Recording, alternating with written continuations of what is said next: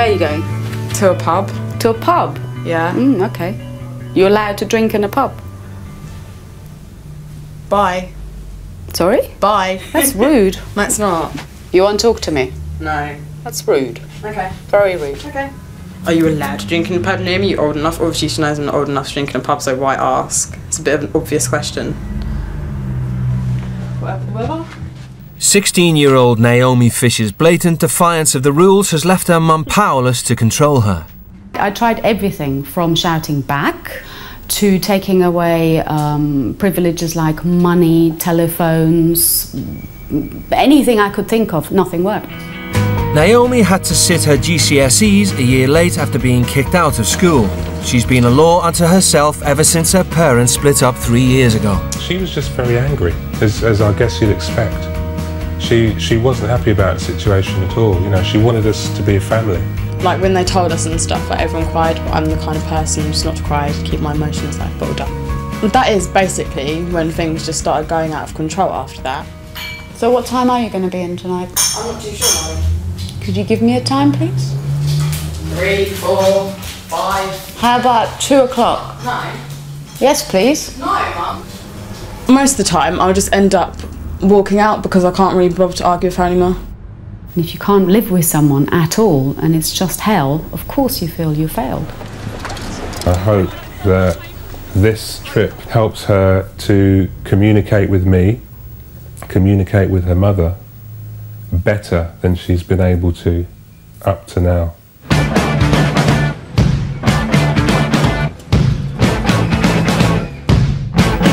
16 year old Ross Torrey spends all of his spare time on his computer. This is my MySpace profile, and I couldn't live without it. Ross goes online every day until the early hours of the morning, and his parents are at their wits' end. Ross will gradually get more and more verbally abusive. He'll he'll shout, he will swear. It just gets worse and worse until you eventually give in to him. A year ago, 16 year old Ross came out to his parents as gay, but turned to the internet to meet other gay teenagers. I have found boyfriends through MySpace, found quite a couple. It's very worrying the fact that he will go and meet people who he's only met through the internet. We just have to hope that he's being sensible. Nice and sexy pants. I'd give you one. I'd grab your crutch. Despite his parents' full support, Ross has struggled to control his emotional outbursts. Who cares? Jessica is 10 years old. She is at school she anyway. Be, no, she doesn't. And why should she be subjected to continuous swearing? After he came out, it was as if all the anger came with it. All of a sudden, he had to live up to this image of being this nasty, sort of bitchy guy. I just changed myself, changed my appearance, changed everything. He'll say things like he would love nothing more than to sit there and watch us burn and die and be in pain. And then take a photo of it. Sixth former Ross refuses to lift a finger at home, but still expects his parents to support him financially. When I go to college, I expect then you to pay me £31 a month for a bus pass. It doesn't. It don't just a minute, shush. Shut up, talking. Uh, yes, we do pay. No, I'm talking. I'm talking. Bus fare for sixth form. I think he does need to find the real Ross again. I think he knows the real Ross. He knows he knows that person because uh, he was a happy, um, really loving child. Now things are about to change. Both teens' parents have agreed to send them to America to experience strict parenting firsthand. I've definitely made that life at home to be quite as easy as I actually think, and I will miss it a lot.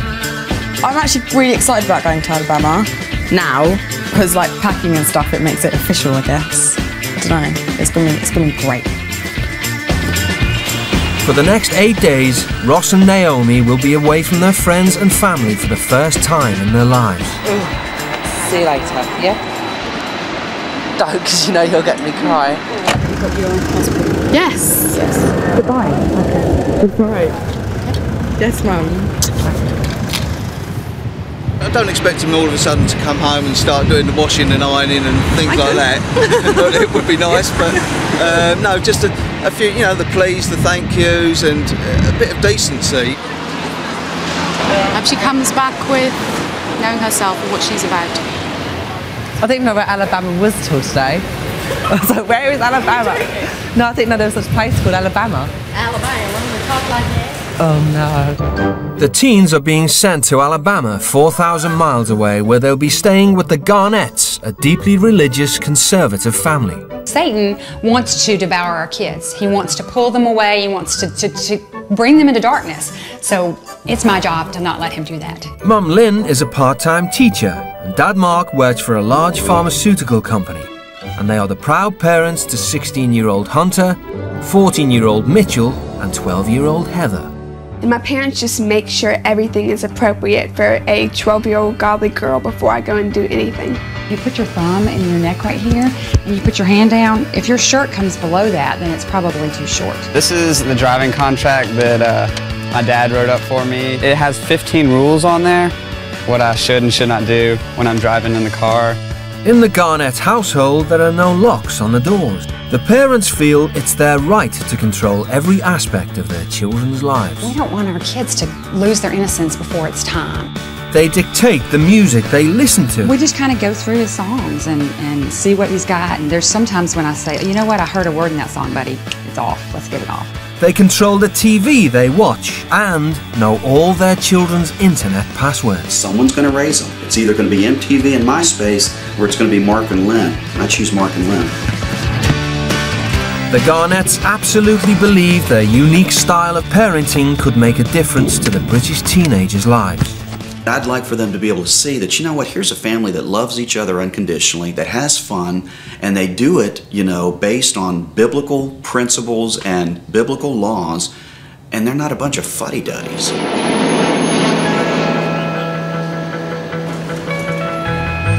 After a nine hour flight, Naomi and Ross touched down in America. Alabama has some of the strictest state laws in America. Smoking is illegal for anyone under 19. One's heaviest. It's also a deeply religious state. In the UK, only 10% of people regularly attend church, but in Alabama, it's over 75%.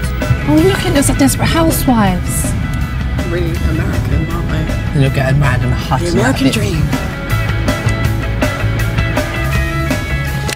Keep you safe and dry. I'm so scared. I never get nervous. I'm shitting myself. I'm now now. really scared. This is worse than anything I've It's like ever when you're just about to go on a roller coaster or something. And Not even like that. It's even worse. It's, like, it's like you're well about to meet your death.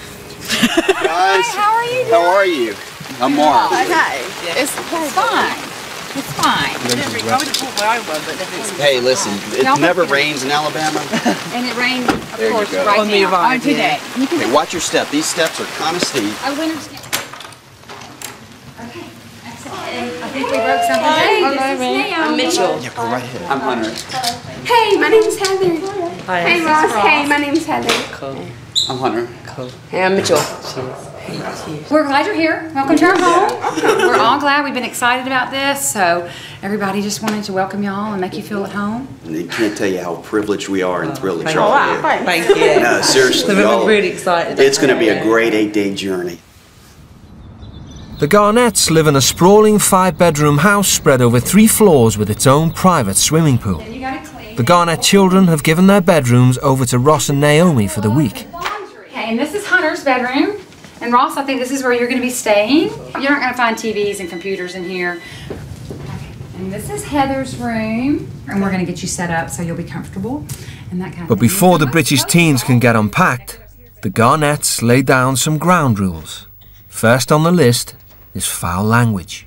One thing that we, we don't tolerate in the least is any kind of profanity. No F-bombs, uh, you know, SH, you know, a-hole. The nuclear bomb of profanity for us is to take the Lord's name in vain.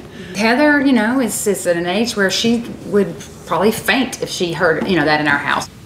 We're very interested in every aspect of our kids' lives. We, you know, we monitor the internet. We don't allow inappropriate websites, and we monitor what they download and what's on their iPods and even on their cell phones. It's the exact same thing with the TV, and we don't bend on that one. Um, one thing that we don't allow in this home is alcohol, and we don't allow smoking. Um, I'm going to give you an opportunity to go upstairs and in your suitcase, if you brought anything with you that you know and right now you know in your heart, if if it violates any of the things we've talked about, um, this is an amnesty time. It's a time for you to go get it, no harm, no foul, and bring it to us. Sound fair? Good, excellent. Used to having complete free reign, the strict regime comes as a bit of a shock to the unruly British teens. What the F bomb? Honestly, a hole. I said a hole. Oh dear. Oh my god. You can almost see her nipple hair. Okay. yeah, I think I think it's completely over the top. Like they should. I don't know. It's, it's just it just doesn't seem it just doesn't seem human almost that you're not allowed to see the things that go on outside of these walls. There's no need to be continuously looking over this, looking at them, watching what they're doing and stuff. I mean, come on. Yeah, I really doubt they're gonna like the magazines, so I'll get rid of those and my iPod. Um, but I'm not giving them my cigarettes. I them in here. They're actually in my pocket. I don't even have that many. I have seven. But I'm just gonna keep them. Thanks. don't have anything. No, there is nothing explicit. I don't have any magazines and stuff. What we're going to do now, we're going to go check your bags. Before we do that, any still got an amnesty second chance? Anything else that? Yeah. Um, my cigarettes in my bag. Six, six. I've not got any six. The Garnett children are regularly subjected to random bag checks, and the British teens are no exception. There might be a baby bathing suit issue if this is any part of what she thinks we might wear outside. It's probably not gonna happen. Didn't you wee yourself when they said that her daughter fainted if they had a swear word? Yeah, I know. What was I wanted to die. I, I think my dad would actually faint. I had to hold my teeth up. I was like, I thought I was gonna laugh. I, wa- when you get because you get them putting your head down, like an, I just- just some of the things want- they were saying, I just just wanted to laugh. You just don't do it because you'll make me laugh. Just a bit over the top. It is really over the top. It even tells her it's bad for her. Smoking kills.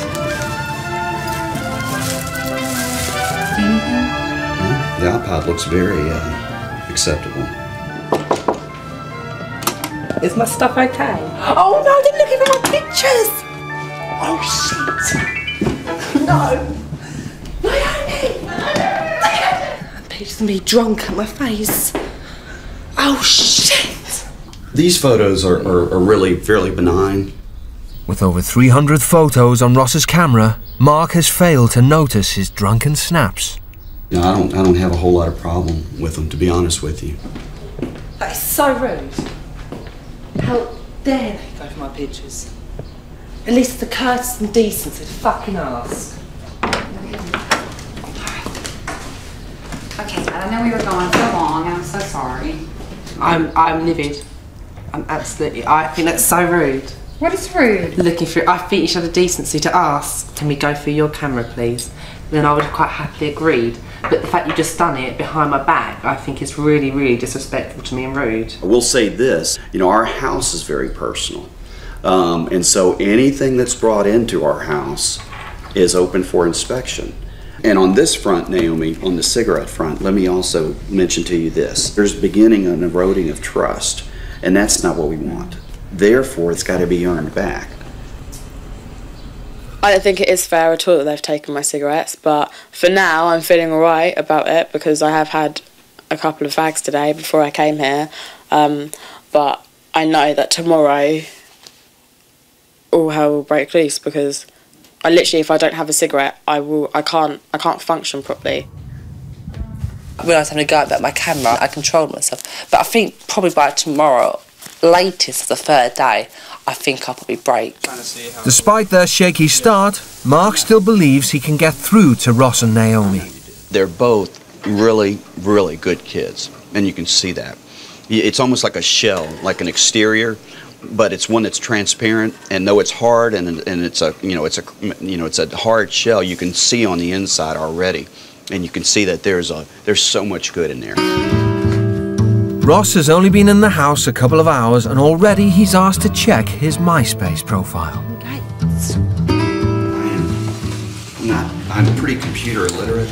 Unlike at home, in the Garnett household, he'll be closely monitored at all times. MySpace is literally like my world.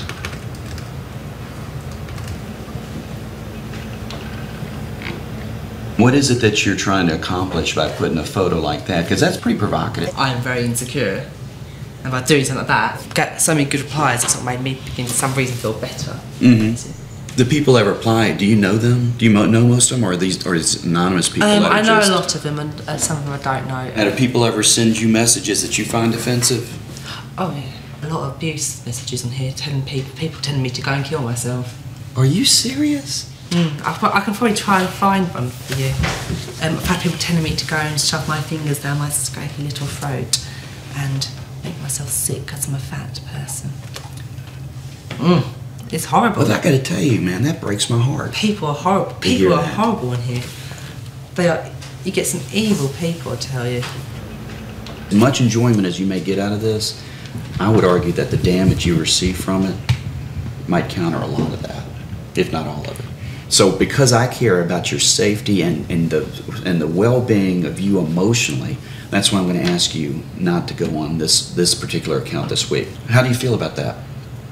Oh, I could probably give it a go and see how I last. Yeah, I mean, I've never, I've actually never lived without my space. I've never gone a day without it, really. That just kind of broke my heart, to be honest with you, to know that he's getting his esteem and his value and his worth from people he's never met. Can't tell you how much I appreciate him being candid about it and very forthright. At the same time, the level of alarm is through the roof. Living here hot, honestly, it's like, what good that, that, does that help? Oh, well, we don't want any abuse being brought into the house, Ross. Shut up. That's not mine. It's not mine. Heather, this yours? Yes, sir. Okay. Oh, I thought it was yours. Over dinner, Naomi takes the opportunity to tell the Garnets what she thinks of their overprotective parenting. You said that um, you're trying to teach them for the outside world and stuff, but the outside world does have Yeah. all the things that you're protecting your children from. Hey, they're aware of, you know, the world and cussing and movie and sex and whatever the case may be. There's things we talk about, they're open to that, but it's not something that he fills his mind with on a daily basis. And we want our kids to become the best adults they can be, and we want for y'all, as you enter adulthood, to maybe question some of the decisions you've been making in the past and saying, you know what, these may not be the best choices I'm making when I'm entering into adulthood. You have a real thorough understanding of the, the And why we- expectations are? and why we do what Why we do. doing it? Yeah. All right, well, let's clean up and, and we'll uh, kind of wind down and get ready for bed here. It's only the end of day one, but already the teens are outraged by the level of parental control. They're all robots. The parents have literally robotized these kids. They're going to go into the world and not know jack shit. Their, their parents are going to think they do. I'm worried for the kids because when these kids go outside into the real world, they're not going to be able to cope.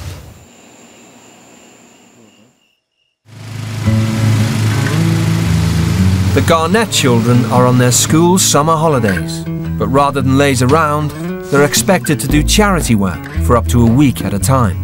Do we get paid for this work today? You're helping the homeless people. It's like, okay, yeah, where's my tip? Teenagers can be selfish. We all can. But it's hard to be self-centered and selfish and caught up in yourself when you are looking at others that are less fortunate than you and realize, wow, I don't have it nearly as bad as I thought I did. Today, the British teens will be helping the Garnett's youngest son, Mitchell, who is volunteering at the Firehouse Shelter, a refuge for homeless men. The shelter is in downtown Birmingham, an area with high crime and unemployment. It's a world away from the Garnett's secluded suburbs, only 10 miles up the road.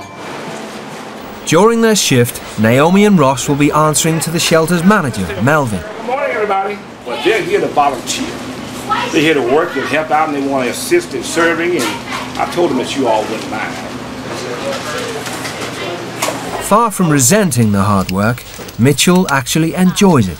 My dad is right about it being good for our family, just being to, able to like help others that might not be as fortunate as us. Uh, help them before we help ourselves. Okay, so let's come on out here, you all. We're going to go out front and get ready to start lunch. The shelter provides hot meals every day for up to 200 homeless men and is run almost entirely by volunteers. Volunteers are our lifeline here at the shelter. Without, without our volunteers, you know, we wouldn't make it. The teens are only 10 minutes into the lunch service and Ross has already given up. Got dirt on my shoes. I got shit on them.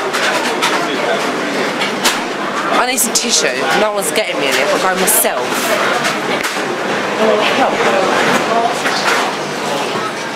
With the lunch queue beginning to build, Ross and Naomi are nowhere to be seen. What are y'all doing around there? Maybe walk. A walk? Yeah. Let's come back now, haven't we?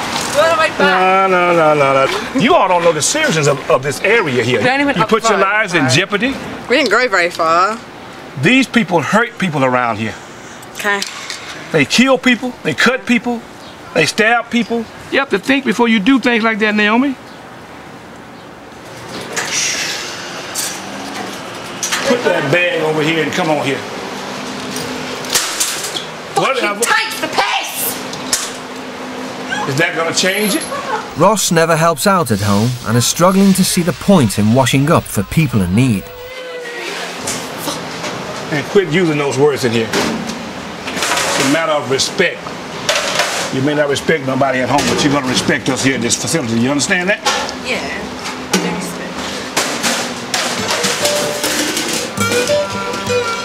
I understand we're volunteers, but we're not slaves. We're not volunteering to be their fucking skivvies for the day. And my hair. I want to stop for a minute 'cause my hair. The teens haven't been back long before they're in trouble again. I want to have a talk with you in the office in here about what just happened with those smoke with the cigarette. Naomi has persuaded one of the homeless men to break the law by giving her a cigarette. The guy that gave you that cigarette, he knows better. We don't do that here. Now he's going to have to find somewhere else to go stay. He's going to be homeless again. He's back out on the streets again because, all because you asked for a cigarette. Just because he gave me a cigarette, he's going to be homeless. Yes. Yeah, but that's out of order because it was my fault. So I Well- should get a punishment for it, not him. You probably will. So we understood each other? Hmm? Yes. Okay.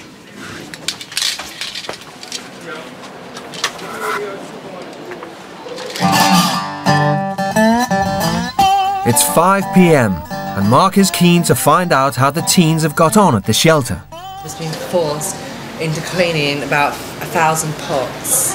I couldn't cope, there was no break in between, and my shoes got dirty, and I was just so hot. Did you drop the F bomb?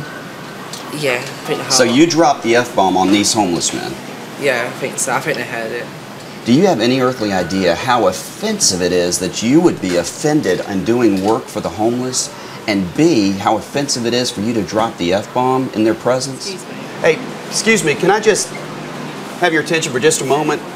Um, Ross has been working here today and an incident took place that was inappropriate and, uh, and there's something he would like to say to you. I'd like to apologise for my foul language, like if some of you heard today. And I'm sorry that I said it in front of you and disrespected you. And I hope that you do have a nice evening this evening. Yeah. Thank you. Naomi has a confession of her own to make. I asked someone for a cigarette, um, and they got in loads of trouble. He can't stay here anymore. So he's he's out on the street tonight. These men are begging to be able to get into a shelter like this because there's murders on the street here every night. You put this gentleman in a situation that now he's in danger. I didn't know that that was going to happen. But you don't understand that your actions have major ramifications, major consequences on other people. You've got to take responsibility for your actions. I'm going to give you an opportunity to come back tomorrow with an unbelievably great attitude and great work ethic. If tomorrow goes incident free, then we're going to take this and put it behind us. I'm beyond disappointed. Uh, what I'm having to do is try to fight back uh, irritation and being furious about it. Bitterly, bitterly disappointed.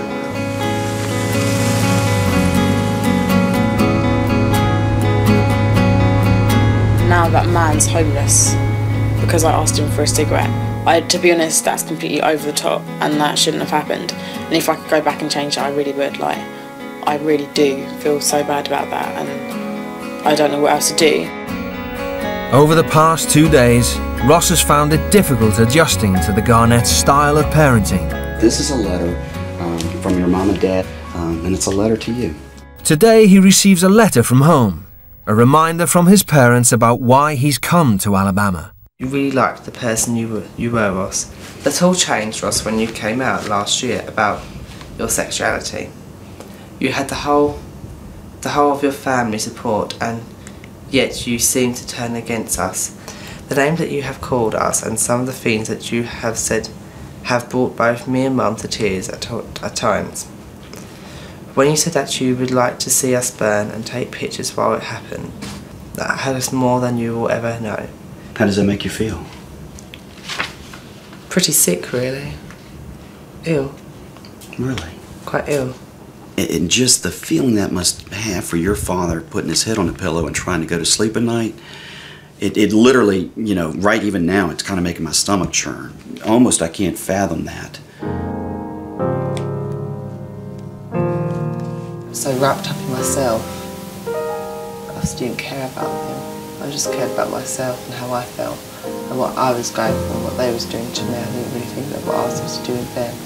I've still got time fix it and to learn how to apologise and try to sort my, set myself out. Naomi, would you like a cinnamon roll? Oh no, thank you. Would you like it, Ross? No. You sure? It's the teens' third day in Alabama, and today they're returning to the shelter. But not before Mark gives them a pep talk. Kind of wanted to give you all a few words of encouragement. And Hunter, you're going to be going with them today as well. And I'm not going to go spouting Bible verses all the time, but it says anytime you set your hand to do something, do it with everything you've got. So as you go about today, have that great attitude. Think about the joy you're bringing to these people. You're going to do a great job today. I really think I'm going to drop it. we did act a bit like sport brats yesterday. It's a bit embarrassing to be honest. Um, we have a lot more things than they have. A lot more things. And we still were complaining about what we were doing. Yeah. And that's not, that's not right. Like, just get on with it and do it. Let's go, let's go. Let's do this. They're going too fast for me. I'm having to keep up with them. Oh, I'm sorry, that wasn't anything And it look like they're having fun doing it. But the events of yesterday are still weighing heavily on Naomi's mind. I was just wondering if you know where that man is. That. That was, um, his name is John.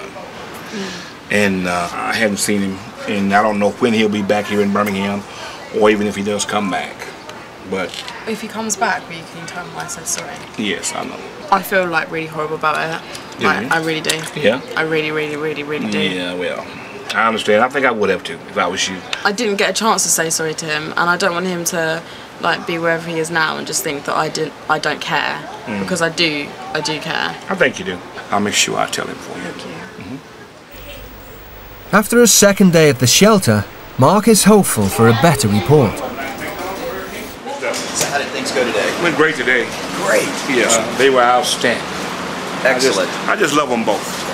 I knew y'all were going to do uh, great in terms of your work ethic and in terms of your attitude. So y'all have knocked it out. Congratulations and thank you so much. I am so so proud of you. I can't tell you how proud I am of you. That is outstanding. That is outstanding. You are awesome. Thank you. Thank you, appreciate you. Thank y'all so much. Y'all have done a great service today. Oh, I'm so proud of you. Outstanding. Oh, wow. Well, let's go. Y'all ready to go? Yeah. Yeah. Let's go home. We're gonna have a great afternoon and a great evening. We're gonna go right around the left. The, the way the way he chose his words and what he said, it kind of made me want to cry. Like not with being upset, but just with what he was saying. Like he is so sincere and he really means everything that he says. And I don't know, like after you've had a chat with him, you just want to like smile and jump around and be like, yay. Mark makes a point of telling his kids how proud he is of them every day. I didn't hear "I'm proud of you, son" from my dad until the day before he passed away. And I remember I was actually putting his slippers on, um, and, uh, and I just looked up at him, and that's when he said it. He said, "I just want to tell you how proud you've made me over the years, and how proud I am of the man you've become and the father you've become." And um, I'll never forget that. It was great. See you later. Good evening. Bye. As a reward for their hard work, Mark has given Ross and Naomi permission to go bowling with Hunter. All right, guys, here we go. Big night out on the town bowling. Hunter, you're driving. Oh yes. Hey, Naomi and Ross, let me let me just have a real quick word with you. Yep. Hunter, if you will, just go ahead and get in the car. They'll be right there, buddy. Hey, um, obviously this is going to be a great night. You're going to have a wonderful time. You did a phenomenal job today. We're so proud of you. Uh, but as you go out and enjoy yourselves tonight, do not forget about your responsibilities and commitments. Naomi, I'm not going to do any cigarettes. And you know what? I, you're going to do. I know you're going to do great tonight. It's going to be tempting though, because really this is the first time you've been away from us completely. Um, where you're just going to have a chance to enjoy yourself, and I know that would be tempting. So I'm going to be praying for you. You're going to do a great job. I have faith in you. Y'all have fun. Enjoy yourselves. Yeah, y'all are going to have a blast.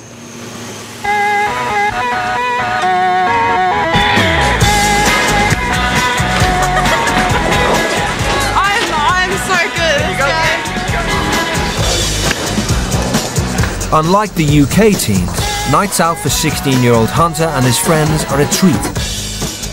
They must be earned, carry huge responsibility, and come with a curfew of 9 p.m. It's the first chance for the teens to enjoy themselves, unsupervised.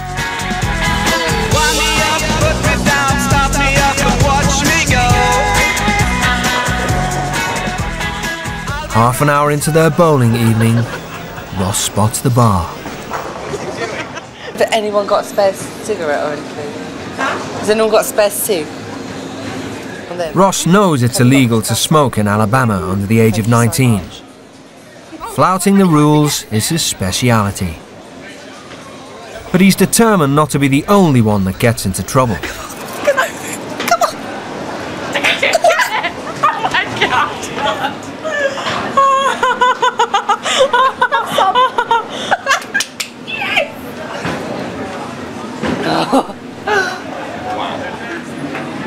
Shouldn't be smoking.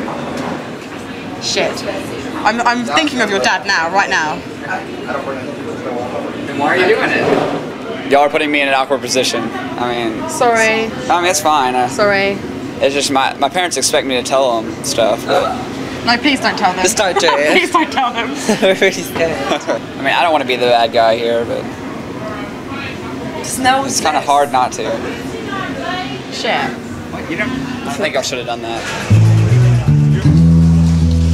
I guess I was a little disappointed in what they were, what they just did. I, I have to struggle with what to do now. Pick them or pick my parents. Thank you. Hey guys! Hey. How's it going? Good. Tell me about bowling. I mean, nobody got in trouble? Uh, Kind of? yeah, a little. What happened? I don't know. Do y'all want to tell her, or do you want me to? I want to hear from your. I want to hear your side, and We'll I want to hear say, their we'll side. say, I'll say. I think Okay, Ross will say. Um, She'll get wild. we had a cig. You had a cig. Both of you? We had? Um, we both we both shared one. Uh, We, Where'd you get it? This lady. So you just asked some stranger, "Can I have a cigarette?" Yeah. Why? You don't even smoke, Ross. What's up? Hello there. Hello. How are you? How'd it go? I mean, they have fun, but I'm not so So everything, I mean, is everything okay? I think so, but they broke our rules. Um, really? Um,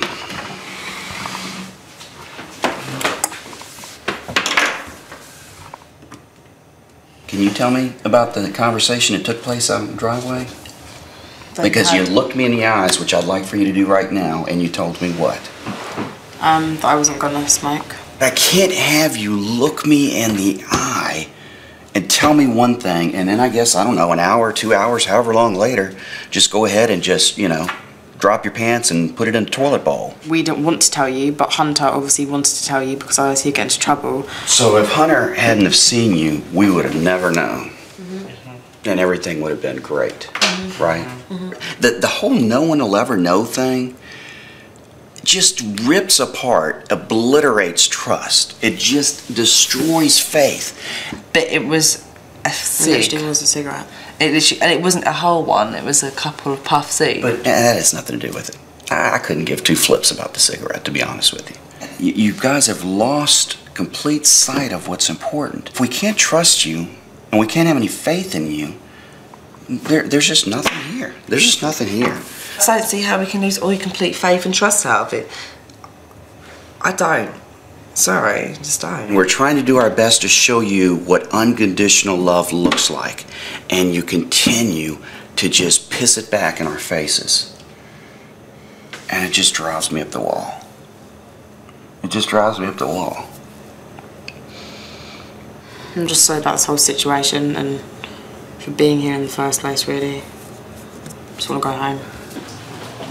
Y- y- Your lives are, because again, it wraps around you. It's all about you. Oh, however it makes someone else feel, you don't care. And I'm sorry if that hurts your feelings. But, No. See, it doesn't even hurt your feelings because you don't give a rip, because it's not important to you. We do, because we know it's not true. You know what? I'm done here. You guys have a Coke and a smile, a great evening, and um, I get those plane tickets ready. He's mad. This is worthless. It really is. Guys. He's mad. Yeah, I think I've expressed You know enough. I do care. Get upstairs.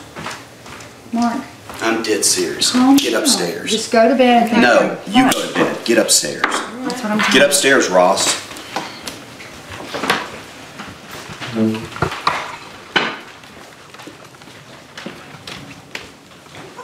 If he wouldn't have found out, none of this would happen. So he wouldn't have been in bad mood, and then everyone would have been fine. and No one would have got hurt, and we would have got our cigarette. Because he would have never ever found out. So, well, so why did he get so angry about that? the whole I'm sorry that, not, that he got so mad. That's what happens. He's passionate about this.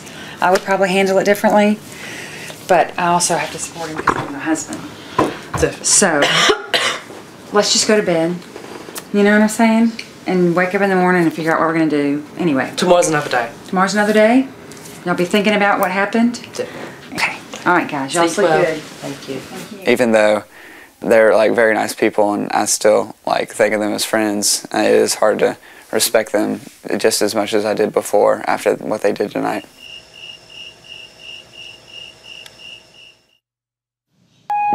The teens are halfway through their week in Alabama. The whole experience is proving more challenging than Mark expected. Last night was was bitterly disappointing on so many different levels.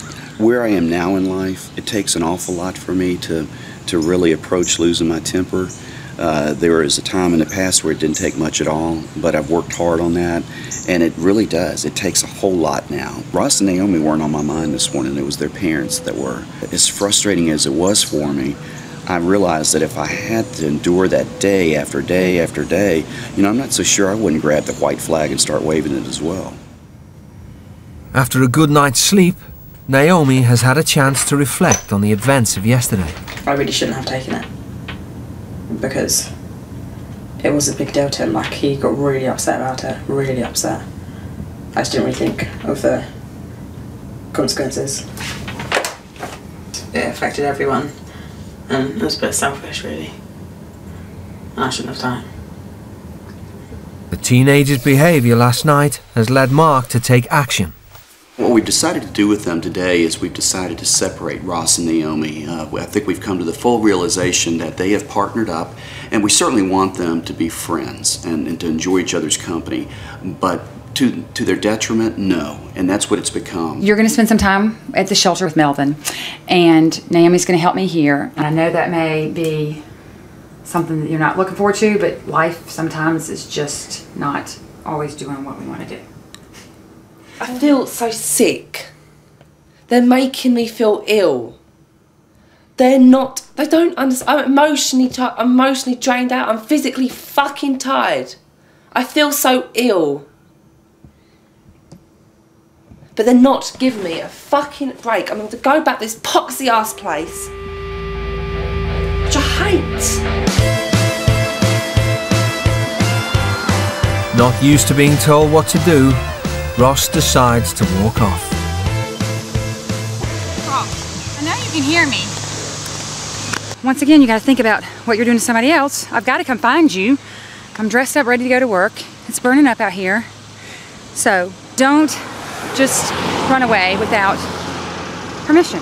That's just not Can't the way I it walk works. that way? You can't walk that way. We got to go. So let's walk this way. I know, I know, I know you want some free time. Close, close. Well, what, what are some coping skills you can do? I feel like probably this is what he does at home, and his parents have to deal with that. With, with the, you know, um, anything that's not suitable to him is met with a fit or an escape or, uh, you know, cursing or whatever the case may be. And that he needs to grow up and be able to communicate it back and, you know, share his feelings, but not always just a immature reaction.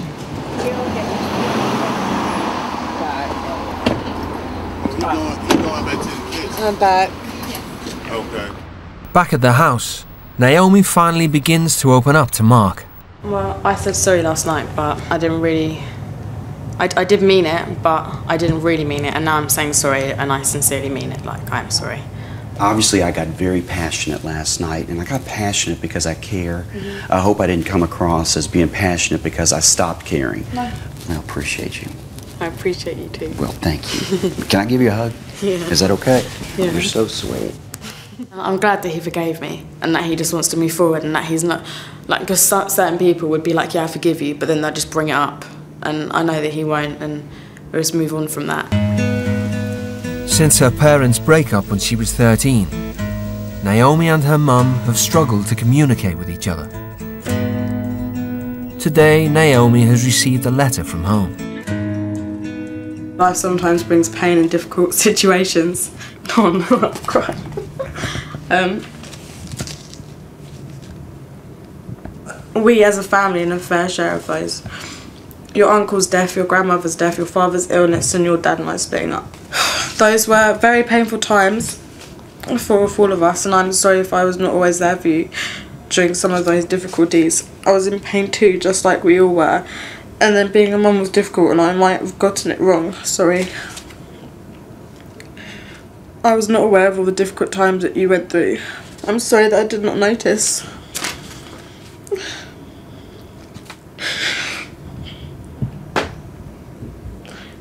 We never really like talk about the past and stuff, and I don't know, just because she kept on saying sorry, and I don't know. oh dear.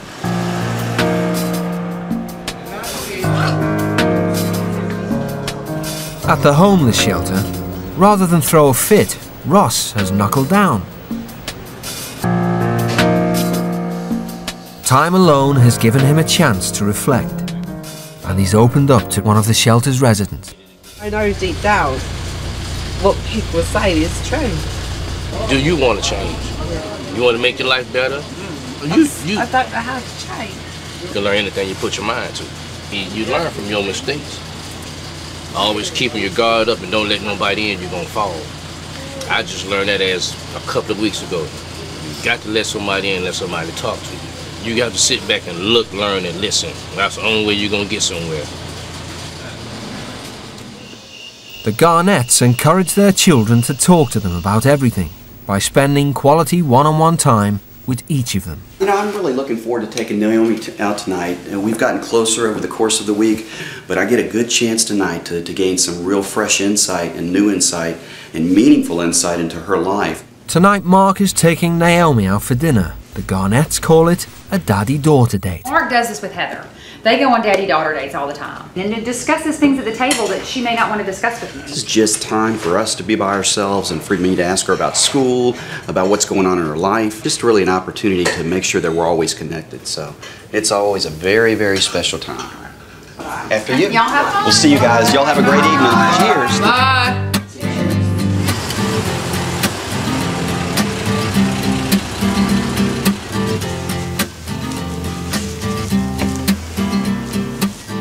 Right, and we've arrived. This is Leonardo's, and you're gonna love this. You ready? Yeah. You go right through here. I'll follow you. Well, have you always been kind of private, you know, and kind of quiet? I used to like say what I felt and act how I felt, Right. but I just, I just, I've just stopped doing that. I've changed a lot. Well, I'm not trying to get ultra personal, but why? What's taken place that makes you really kind of afraid to trust people and, and be vulnerable to people and, and share stuff like that to people? I mean, it sounds like you've really gotten burned. Yeah, no, there's just been a lot of drama in our family. Were y'all very close? But we, yeah, we were close as a family. We were. There was a lot of arguing and stuff, but I just thought they were like going through a rough patch kind of thing. Right. Um, and yeah, and then they just broke up, and I was, I was quite like, I was shocked. But I wasn't that. I don't know. I wasn't that upset. But I think it did. It did break my trust for people because my parents hadn't told me anything about it. I guess, and then I was like, well, if I can't trust you, then who can I trust? Now that your mom has written you this letter, will that change anything? Yeah, it will, but it's more just its experience, really, that's going to change things. Have you really been who you are either are or are capable of being this week? I mean, is this, are we seeing the real you? You're you're seeing what I would like to be. So it's what you can be. Yeah. Yeah.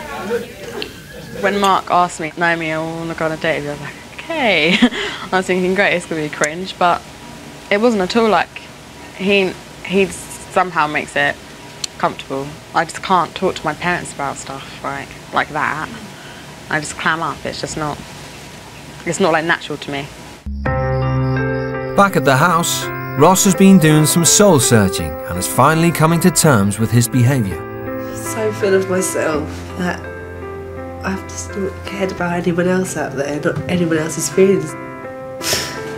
and like I say, I think everything revolves around me. It's true. I've and I brag about myself. It's horrible. It makes me feel horrible.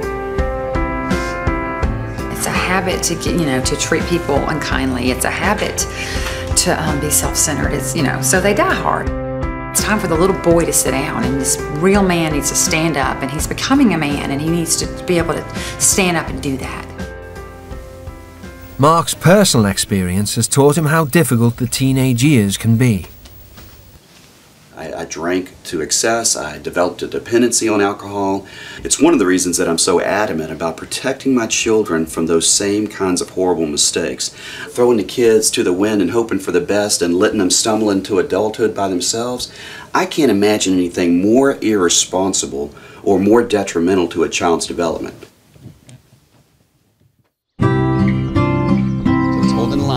I flick it, I'm just gonna let it go. Everything? And just flick it and let it go. Mark leaves nothing to chance with his own teenage sons. When Hunter turned 16, Mark took him away for the weekend to talk about sex and purity. I learned so much about him when, when we're together just one on one. It, it builds the trust in each other, it builds our relationship. But it's also uh, just a critical time for us to be, to be together and get away without distraction in order to, to talk about really, really important subjects as they cross that bridge from adolescence into manhood. With only one day left before the teens return home, Mark has taken Ross away to have the same frank discussion. Nice. Hello, fish. Fish meet Ross. Ross meet fish. So uh, there's your friend. Can I There he hold is. him? Uh, yeah. Now t- try to grab him like I did. So hold those fins so they don't come back and nip you. Ah! Ah! That's okay. We're gonna put him right back in. There you go, buddy. Throughout his teenage years, Ross has struggled with his low self-esteem. Like, I've never been in a relationship longer than that month and two weeks. Have I- you met all of these guys on MySpace? Yep, but some of my friends knew. It's really rare that anybody makes a meaningful meeting and, and has a meaningful relationship through the internet. Obviously, being gay, it's not as easy as it being straight because how often do a, does a guy come up to you and go, oh, hi, what's your number? I'll just say yes to people because I'd feel wanted. Much like yourself, in my life, I was constantly seeking um, fulfillment and to raise my esteem and to boost my confidence through anything imaginable. I would chase anything, whether it was relationships, whether it was, you know, something like alcohol. I made horrible decisions. And I was a good kid, but I made horrible decisions. You're a good kid. You're just not making great decisions. But just like me, you can make a choice and you can begin to change, and you're doing that this week. My hope and my prayer for you, Ross, is that you've got the strength to continue, and I believe you do.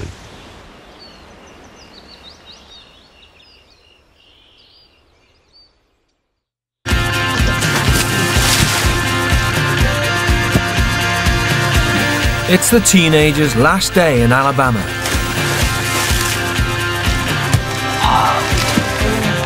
And Mark has one final request for Ross. I want to ask you to uh, enable the privacy function. There's no reason why anonymous people should be able to come onto your page and leave abusive, negative, horrifyingly detrimental comments. All right, is that okay? Yep. Are you in agreement with that? Yep. I would like to be able to not use it as much. I know for myself I would never be able to get rid of it. I don't even want to get rid of it. That's not my aim. But I think more of an aim is to try and maybe find something else to do other than MySpace when I'm not uh, when I'm at home. The Garnets have invited some friends round for a goodbye barbecue. I've collapsed on the floor, wetting myself. My friend's next to me, on on the they're dying literally. Steam's coming up their head. While the barbecue is in full swing, Mark has a few words of encouragement for the British teens. Think about the things we talked about this week. Do you know what's to do and what not to do? And, um, you know, be respectful to your mom, as you will be, and know that they love you. And you have an opportunity to start fresh, you know, with every bit of confidence and faith in you. Thank you. Yeah, you've got what it takes. I believe in you. I really do. Don't worry about what's happened in the past. You can't do a thing about it. But you can take care of today. You're going to have a great life, my friend, and I hope we'll stay in touch. And I'll tell you one last thing. I would be proud to have you as my son. Yeah. And I thank you for letting me be your dad this week. Thank you so man, much. It's been a pleasure. Oh, man. It's been It's been. Thank you so much. I'm really gonna miss them. And it has been such a pleasure to be here this week. It's been hard, but it's it's been worth it.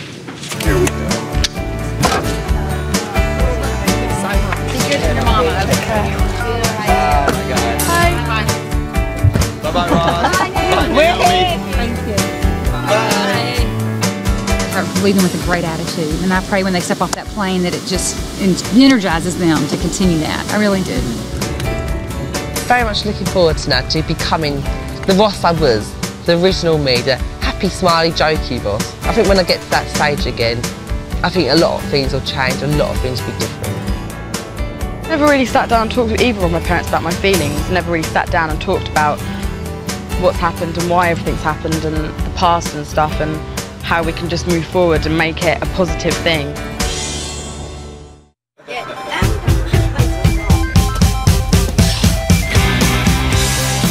Hello. New shirt. It's you. Hi, Dad. Hello. My new Ross. I'm sorry for what I've obviously been like in the past. It made me realise to say thank you more for stuff. Because the kids out there, well, it's just like, I think the only words I've ever heard them say is thank you, ma'am. Thank you, ma'am. Don't expect me to call you ma'am, sir. 'cause that's never going to happen. First thing I'd really love from her is a hug. A hug and a cuddle, and I hope she had a good experience. I really hope she found a, another little piece of herself. My gosh. Okay, careful. Oh, happy birthday, darling. Thank you. It's not my birthday. It was yesterday. I spent my birthday on a with plane. you. Oh no. What have I learned? To not be so selfish, to think of others before myself, um, the consequence of my actions. I'm just going to try and treat you nicer and like help help you more around the house and stuff. I missed you. I missed you too. Did you? Hello, baby. Do I